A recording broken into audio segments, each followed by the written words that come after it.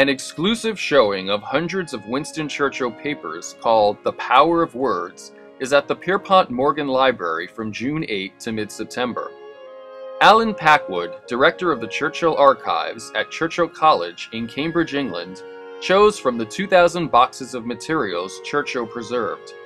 Packwood is here in New York City to speak eloquently about Churchill, the man, the writer, the New York City visitor who ended one visit in Lenox Hill Hospital when hit by a car on Fifth Avenue. A series of lectures, underwritten by New York City resident and patron Tina Flaherty, and called the Tina Santi Flaherty Winston Churchill Literary Series, is currently being held at Roosevelt House in New York City, Hunter College, and the Morgan Library. Speakers included William Griswold, director of the Morgan Library and Museum, Professor Sir Leszek Borysiewicz, Vice Chancellor, University of Cambridge, and London Mayor Boris Johnson. Education Update held exclusive interviews after the introduction with series sponsor Tina Santi Flaherty and the Honorable Edwina Sandys, Churchill's granddaughter. It is my privilege to welcome you to tonight's reception for a wonderful new exhibition, Churchill, The Power of Words. The exhibition is a celebration of one of the great men of all time. The letters, drafts, typescripts, and other artifacts that are included in the show vividly demonstrate the extent to which the power of words underpinned Winston Churchill's remarkable achievement as a leader, a statesman, an orator, an historian, and a hugely gifted writer. The exhibition pays homage to the power of words, but it also presents the story of an extraordinary man. It is about a dark and terrible period in our history. It is about freedom and resistance to tyranny, and it is about the deep and lasting friendship that binds America and the United Kingdom. The curator of the show is Allen Packwood director of the Churchill Archive Center and executive director of the Churchill Center. I can imagine no better partner, and it would be impossible to overstate our gratitude either to him or to his colleagues. In addition, I would like to thank Declan Kiely, Robert Taylor, curator and head of the Department of Literary and Historical Manuscripts here at the Morgan, who coordinated every aspect of the project on our end. This was no mean feat, and the results speak for themselves.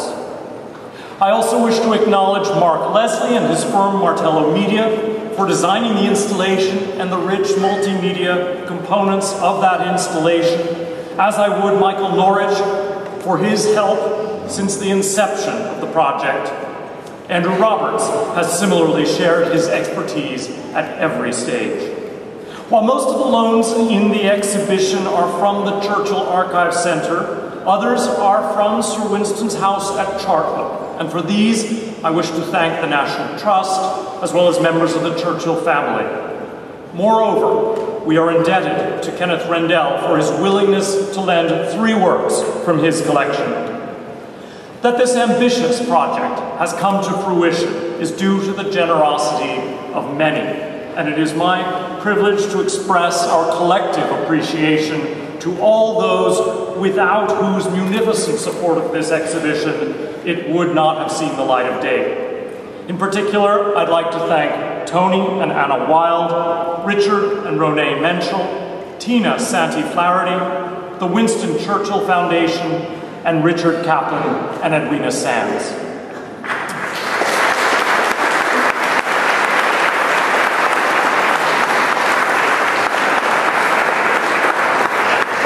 And that's not all. We're also hugely grateful uh, for the support of the Gladys Krieble Delmas Foundation, Robert Bradford and Barbara Taylor Bradford, Doug and Delphine Daft, Sherry Parker Lee, Tim Wallach, and Laura and Adrian Weller.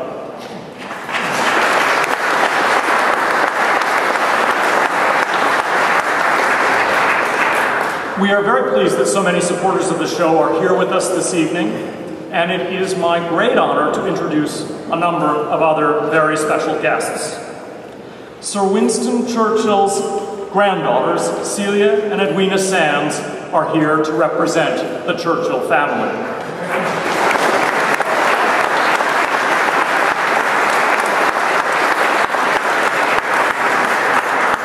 Boris Johnson, Mayor of London, is here with us just days after the Queen's Diamond Jubilee.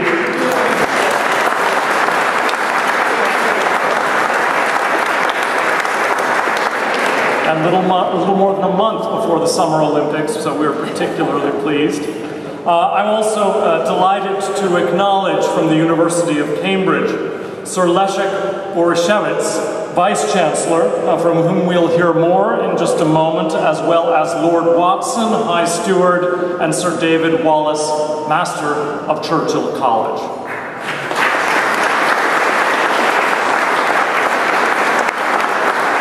I'd like to recognize Sir Mark Lyall Grant, British Ambassador to the United Nations. And finally, I wish to extend a warm welcome Caroline Kennedy, whose father made Sir Winston an honorary citizen of the United States in 1963. Uh, uh, Tom Putnam, director of the Kennedy Library, is here with us as well.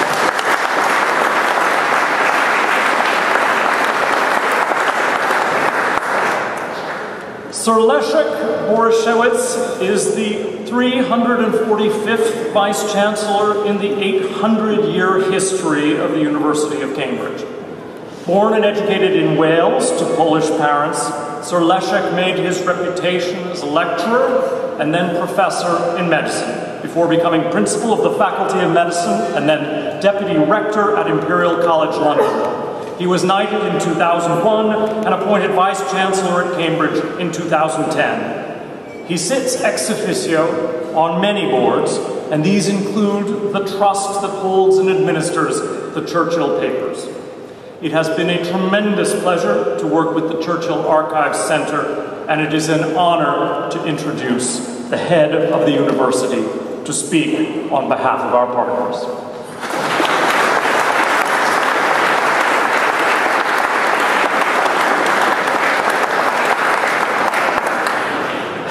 Uh, Your Excellency, my lords, ladies and gentlemen. I speak on behalf of the UK partner and I am joined here today with a very strong delegation from Cambridge which includes our High Steward uh, of the University, Lord Watson, and the Master of Churchill College, Sir uh, David Wallace. Now the University of Cambridge knows a thing or two about history. We kind of have been marching alongside it for nearly 800 years. In the university's great libraries, museums and collections, we are history's curators. And in laboratories and boardrooms and parliaments, our faculty and alumni create it every day. It is therefore from a position of confidence that I can look around this exhibition and declare this, ladies and gentlemen, is history. The exhibition brings together some of the most resonant documents, artifacts and recordings of the 20th century. I defy anyone to hear Churchill's voice without response from the hairs on the back of your neck. One of the glories of Cambridge is the diversity of excellence evident in the different characters of the 31 colleges, each of which is unique. Churchill College has an exceptional place. It was founded as the National Memorial to Sir Winston and it houses the Churchill Archive Centre. Now what's also special about Churchill College is that it houses not only Sir Winston's papers but also the papers of Lady Thatcher and Sir John Major, frankly making it the equivalent of three US presidential libraries rolled into one. Most of the items in this exceptional exhibition are on loan from the centre and we are proud to show them off to you here. There can be no doubt that the Morgan has one of the greatest collections of art and manuscripts in the United States. And we have found it the perfect venue for one of Cambridge University's great collections. I would like to personally thank the director, William Griswold, the trustees and the staff of the Morgan Library Museum for being such a wonderful exhibition partner My colleagues on the Cambridge side have told me how much they enjoyed working with you, uh, and they have a particular appreciation for the work of Declan Kiely, curator of the literary and historical manuscripts. I'm told it seems that everything that was not said by Churchill was said instead by George Bernard Shaw, to whom we must attribute the observation that England and America are two countries separated by the same language. Declan, you've done an amazing job in translating between American and British English. I'm also delighted that this enterprise has been supported by so many Cambridge alumni. It would certainly not have been possible without the support of Tony Wild and his wife Anna, and the website created by Michael Norwich adds a very special and important dimension. Visitors to this exhibition will have a unique foretaste of another exciting development for us, the Churchill Archive Online. The comprehensive digital uh, archive will be fully searchable on a bank of computers for the duration of the exhibition. But in the coming weeks, the entirety of the Churchill archive, though physically held in Cambridge, will be made available online throughout the world.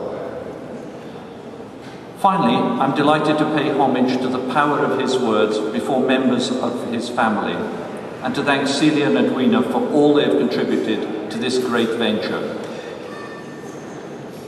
Ladies and gentlemen, Sir Winston Churchill, statesman, orator, author, and historian, was conscious always of the impact made by today upon tomorrow.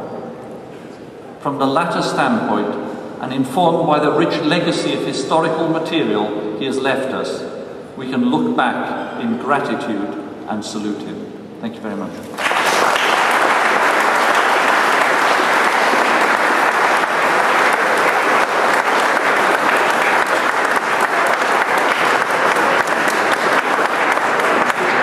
Thank you. Boris Johnson, Mayor of London, really needs no introduction, and if he did, I couldn't hope to do justice to his many and varied accomplishments. I will say just two things. Like Winston Churchill's mother, he was born in New York. And his most recent book, Johnson's Life of London, The People Who Made the City That Made the World, includes a chapter on Sir Winston. It is a privilege to give him the podium to officially inaugurate the exhibition. Thank you.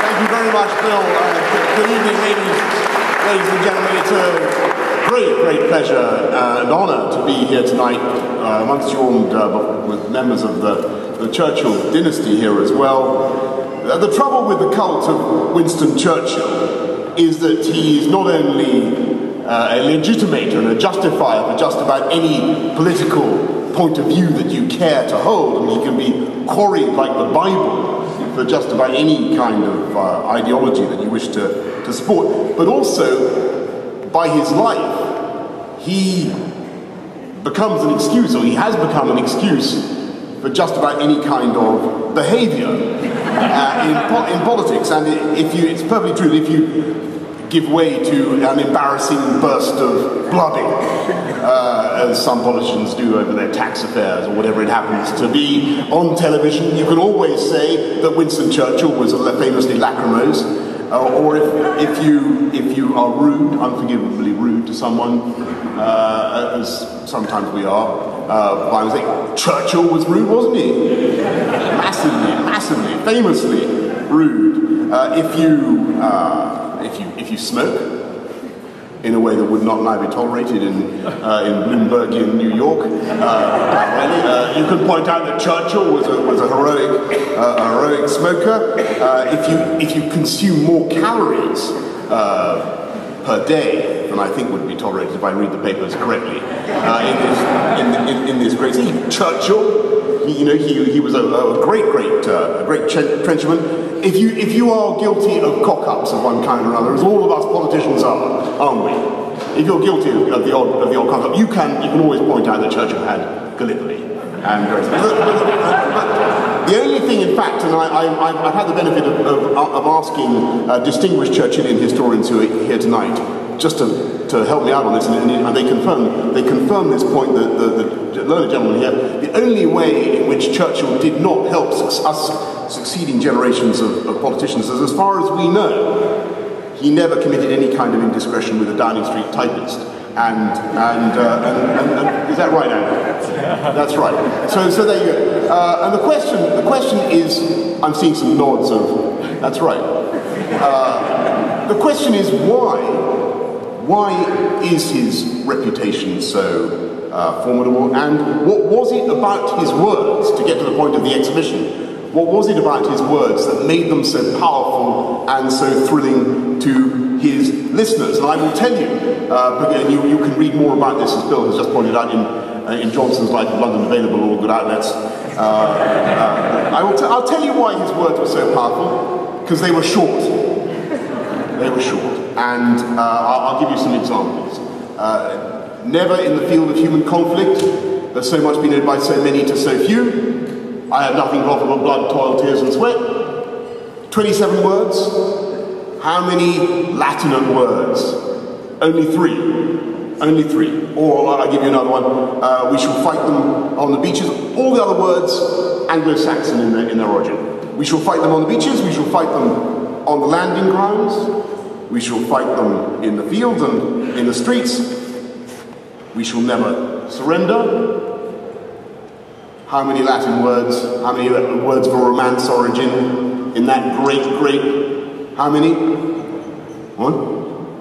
One. Which one is it? Surrender, exactly. Uh, and in, in his, in, Churchill mobilized the English language and sent it into battle because, because, and he created the idea of the Anglo-Saxon world, which we celebrate tonight, and that great union uh, between, between uh, our country and uh, my country and, and, and, America. But and he created the idea of the Anglosphere because Churchill spoke, for the most part, most powerfully and most effectively when he spoke in pure Anglo-Saxon. That was when it, that and, that, and that, that is my point, that's my thesis, that's the message I have for you tonight about the power of oratory of Winston Churchill, power of speech, I should say, to stick in Anglo-Saxon, of, of, Winston, of Winston Churchill. Uh, that's my point, I'm, I'm, sticking to it, and you'll be re relieved to know that this is not the beginning my speech. or even the beginning of the middle uh, of my speech, or, in the, or indeed the end of the beginning of the middle. But this is, this is the end of my speech, ladies and gentlemen, and the beginning of a wonderful exhibition on which I congratulate all the organisers. Thank you very much.